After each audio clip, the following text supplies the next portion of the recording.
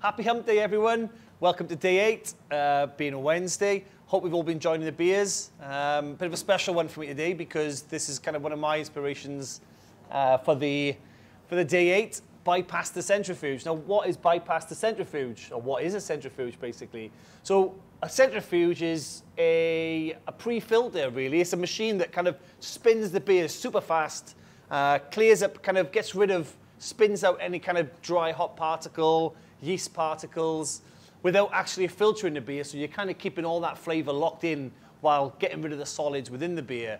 Uh, a lot of kind of our production team, especially our packaging team, they don't particularly like packaging kind of really hazy, murky beers because they can block up filling heads on the canning line and things like that. But I kind of said to them, I want this as danky and as murky as physically possibly uh, we can. So basically, that's what this beer is. Now, the hops in it, uh, I think we went for Citra, Sultana, that's a fairly new hop. Used to be called Denali.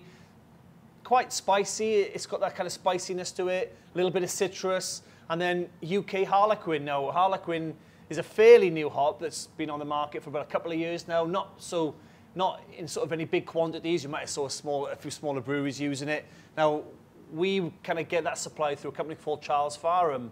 Uh, they kindly give us quite a few kilograms of it to try in this beer. And ever since I kind of smelt it about two years ago, it always I was always kind of blown away by the aroma of the hops when you kind of rub them together and smelt it. And I've been dying to use it in a beer ever since. So this is the first beer that we've used it in, and um, hopefully you guys are going to enjoy it. So let's give it a pour. Now, these kinds of beers, these kind of New England IPAs, I always kind of like to turn the sort of can around upside down or whatever, just in case it has a little bit of sediment in it that you kind of want in the beer if you want it to be have that sort of murkiness. It doesn't all set, sort of settle out, but I always give it a bit of a turn upside down just to get a bit of uniformal sort of clarity in the beer. So, I mean, as soon as you're pouring it now, you kind of get that.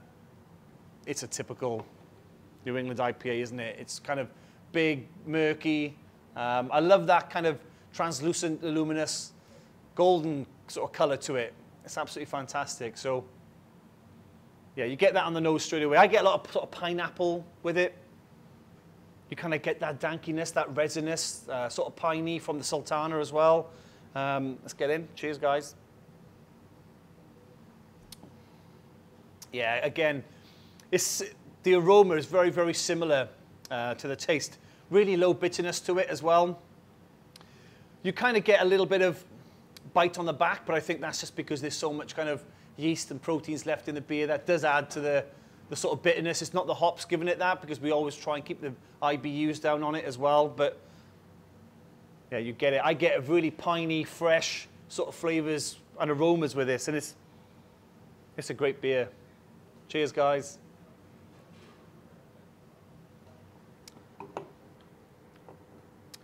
Yeah, it's nice that.